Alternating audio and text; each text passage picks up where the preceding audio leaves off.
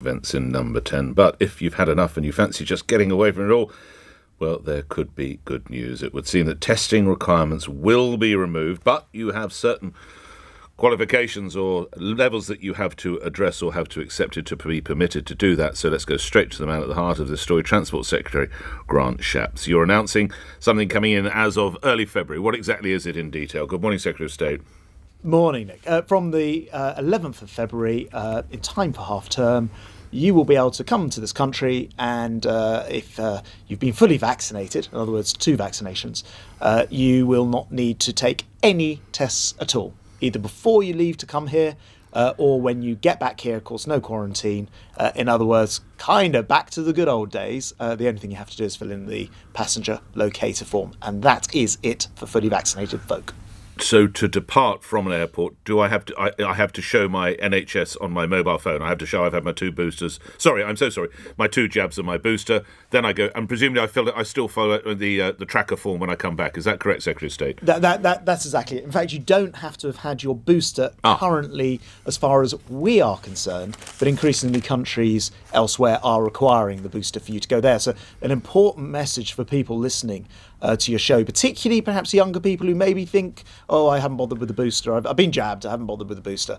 Uh, get the booster because this summer, uh, talking to my counterparts around the world, in Europe and elsewhere, if you want to travel, uh, say go to Spain on holiday this summer, they are almost certainly going to require that booster jab. So you want to get that. But no, for the time being, fully vaccinated just means um, you know the, the first two doses, uh, and uh, that is it. And you'll use the NHS app to show your status. One other change I'm making, which I think would be quite helpful, uh, is 12 to 15 year olds who can be fully vaccinated uh, haven't been able to use the NHS app until now they're going to be able to do that as well from the 11th of February. So uh, kids will also be able to show their vaccinated status on that NHS app. And from your conversations last year on this with your counterparts in America and across Europe, what, what is a child's age determined as Secretary of State? Are we talking 15 and below or 12 as you just referenced, or does it vary country to country?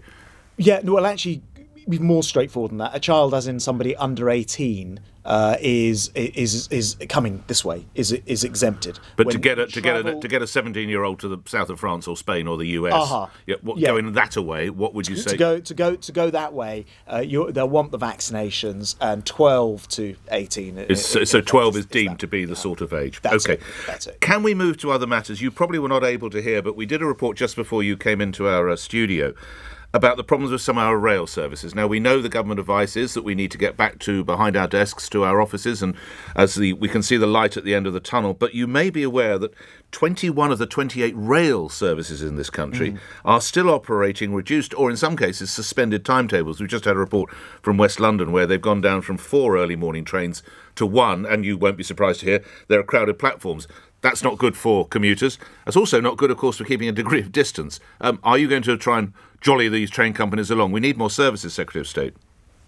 Yes, uh, so it should just be explained that with the Omicron uh, uh, sort of wave, uh, a lot of people were off work and because of that, rather than um, being cancelling trains and creating uncertainty in the timetable, uh, the train companies that you just referred to uh, went to a reduced service to provide the certainty of that service. Uh, cutting from four trains to one train sounds very uh, extreme, so I'd be pleased to. I didn't hear your report, but I'd be pleased to. We'll, we'll reference that to your staff later. But more broadly, yeah, very helpful. Yes, indeed. broadly, I mean, 21 of the 28 companies nationally, yeah, Secretary of State. Yeah, because, because of course the but you, you, you want everyone back. The, the Prime Minister's yeah. guide is that. So there'll a lot of people. we're talking millions. You'll have the numbers. I've no idea. Probably millions board our trains every day to get to their offices, their shops, their factories. We need those trains, Secretary of State. That, that's right. I mean, the numbers have been much smaller in terms of people travelling. People are now starting to return. Unfortunately, because uh, we're getting on top of the Omicron uh, wave, of course, and we've done things like uh, cut self isolation to uh, five days where people have got negative tests. That is enabling people to come uh, back. So I've um, said to these train companies, don't keep these reduced services in place a day longer than you need to in order to provide the certainty uh, of service. I'm looking for overcrowding very carefully, so I'd be very pleased to follow up on your particular uh, report. Generally, across the network, uh, that's not what we've been seeing, and uh, and as I say, the the, the services will come back as their staff become uh, available. It is our our intention to return uh, all of these services. Uh, obviously, coronavirus has stopped a lot of people Of from being able to go Okay. into work, and that's just a fact. We'll get the report over to one of your colleagues later this Yeah, morning, please, and perhaps your team can look at it. Um, just staying on this theme, are you? Uh, what, what is the percentage of staff in your department that are back behind their respective desks, Secretary of State? I don't have a percent yet, but um, I did notice yesterday, just anecdotally, lots more people around than I've seen uh, since we uh, since we, we, we went to Plan B. So which is encouraging. Actually, typically with the Department for Transport, people tend to quite like travelling. So I speak to a lot of my team at the Department for Transport who say it's really nice to uh, be able to get out of uh, out, out of the house and, Yes. and into the office. so, and- and I mean, colleagues. broadly speaking, are we at sixty percent? Would you say? What? what? I, I, I, I actually, Nick, I actually don't know. I haven't caught up with the figures from yesterday uh, following that. Sort of the last figure that you had, uh, when was it, and what was it? Uh, it was it was very low because we were asking people to physically work from home. Again, I can I can find you the, the, the number. I'm not being evasive. I just don't know Okay. the answer to the yesterday's figures yet. But anecdotally, uh, it was nice to see the office starting to buzz again, and I was I was I was pleased to see that. Uh, I should also point out that of course, um, Department for Transport has moved offices. Uh, elsewhere in the country now, we're, we're operating in Birmingham, in Leeds, and uh, many different parts of the country. Hastings and lots of our arm's length bodies Oh, right. i- in different places as well, like uh, Swansea, for example, good. for the DVLA. Well, that hopes their, helps their local economies with good luck to that. Mm. You and I have talked on a number of occasions about so called smart motorways. I have my own views. You'll have seen the story yesterday construction firms hired to build sections of the smart motorway system to be investigated over allegations of fraud and corruption. I need a comment, if you can, Secretary of State, on that. Yeah, well, any any allegation of fraud or corruption, very, very uh, important that's properly investigated. National Highways uh, are the body that do all of that work and uh, build the motorways, in other words, uh, and uh, are therefore undertaking the investi- investigation. I've asked for a report on my desk on the same. Like you, I saw the report yesterday, uh, and I've already followed up on it. Okay. Uh, you probably also saw the report last night concerning the Prime Minister and a birthday party that took place in Number 10, when, of course, restrictions, this is in 2020, when were restrictions in place. Um, how can you possibly defend that? I appreciate you weren't at, well, I assume you weren't at it, but how can you defend this party? Well, well, look. First of all, I think it's important that we get to the to, to the facts. I, uh, as you and I have discussed many times before, I, I share uh, people's uh, sense of upset whenever uh, we hear about um, things which may have transgressed uh, any of the rules. Not least because I couldn't see my own dad, who was in hospital for four months, and we didn't think we'd see him again. Uh, fortunately, he actually came out after four months, but we couldn't visit him. So I totally understand uh, the upset. I think um, it, it's important that rather than sort of drip drip of media reports, we get the full um, picture. And not least because I understand that you know these these this is a group of people in the prime minister's own office who he's working with every day. They had to be in the office through. What, he works uh, with his period. interior design? I know he spent a lot of money, but his interior designer is with him every day? Well, again, this is what I mean about getting to the to, to the Well, why, facts. why was 'cause I see Lulu the- Lytle there? Well, I, I was going to say I saw uh, that the interior Well, designer, who I don't, who I don't know, had put out a statement saying she wasn't invited to anything. I think she she had uh, come in for a meeting, was doing work at the time, which was legitimate at the time uh, to to do. So I think you know, uh, let, us get to the facts. Number Will this be part of the 30 Sue Gray people there. Yes, and Sue Gray was already aware.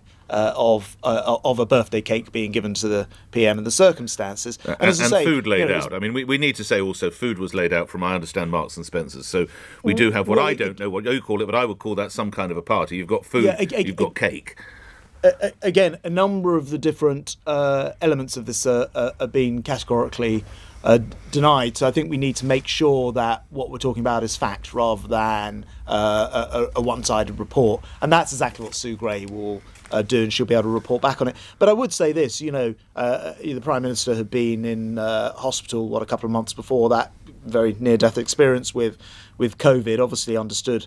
Um, how serious it was. Indeed. Um, uh, but there's also the prime minister who's you know done extraordinary things, got Brexit done, introduced the vaccine program, uh, the right. 37 million boosters that are enabling us to you know release people from all that extra cost of travelling. Yes. Uh, is because of this prime minister's leadership. So let's take everything uh, and, and and get to the facts, and that's what Sue Gray will do. Last couple of points is the fact that the, the new version of the Highway Code comes in, I understand, this weekend, or amendments to the Highway Code, particularly pertaining to pedestrians and cyclists on our highways. Is that correct, Secretary of State? The, the new the new version's being laid in front of Parliament. That's right, and the purpose is to say if you are a big, heavy goods vehicle, for I wonder example, where you were going with that. A little bit Yeah. offensive, but do go on. Let's say a you're a rude lorry. this time of the morning, but do go on, Mr. Shapps. Quite. Uh, let's say you're a lorry. Uh, Okay. you, you should you should give way to you know a van, which should give way to a car, which should give way to a cyclist, which should give way to a pe- to pedestrian. So it's, it's about having a sort of hierarchy of you know But- the danger of different uh, I, types. of I hear vehicles, which I that, think but, but cyclists do not have to use cycle lanes, even if they're provided. Talk Well, that- your that out of is that one. That, that has always been a fact. That's not. That's Well, not. That's not. why have that's we built the damn thing. Secretary of State?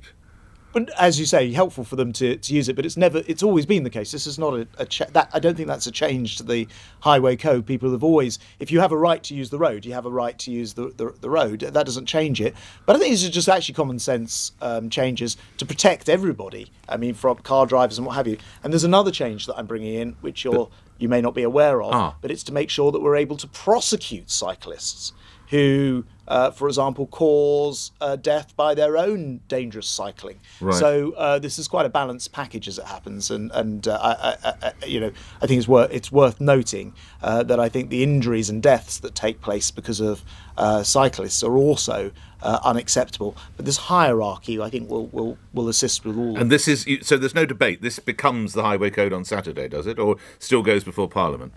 Yeah, the, the, these things are laid, but the changes to the highway code are, are laid before Parliament in what's called, I, I think, uh, secondary legislation. Right. Uh, so it's. But uh, where's it's- the it's- it's advertising process campaign telling everyone that you have to stop if you turn left at a junction and give priority to a pedestrian? where, where, where, where, how are we telling everybody about that then? The fact that we're talking about it right now, It's and I've seen very extensive coverage in the newspapers, is indeed advertising. We don't, we don't normally, uh, you know, the highway code is is. It's quite a big change. I mean, for instance, two cyclists riding abreast is now the preferred option. I do think we need to let motorists know that.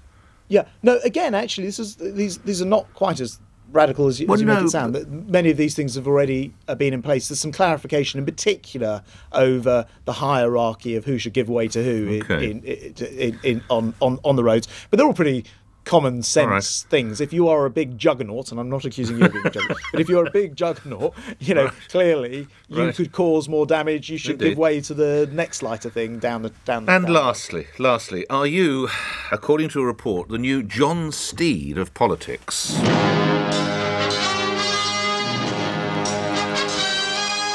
Shapps, you'll have to be of a certain vintage, but that is a theme tune for the TV show The Avengers. John Steed was the star.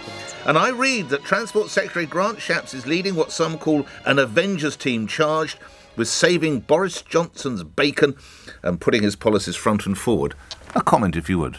Secretary of State. I don't, I've never heard the Avengers uh, uh, uh, description before.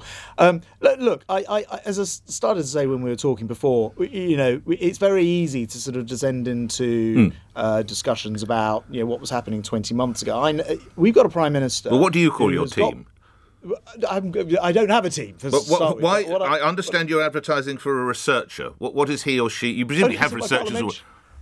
No, that's that's my parliamentary office. So so uh, that is to help me do the job for my constituents. So nothing uh, to do with the Avengers team. No, no, I'm afraid not. No, it's a it's a fascinating it's a fascinating but untrue twist. I just- no, we every, every MP hires people I in just their saw Sue Gray as parliamentary Emma office. Peel. That's all. It's just an attractive.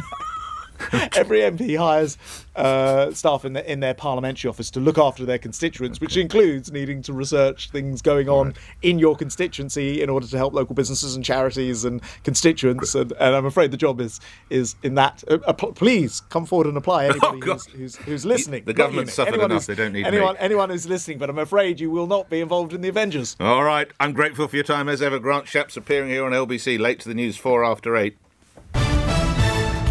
On your radio, on Global Player, and Play LBC. leading Britain's conversation. This is LBC. From Global's newsroom, Labour has repeated calls for the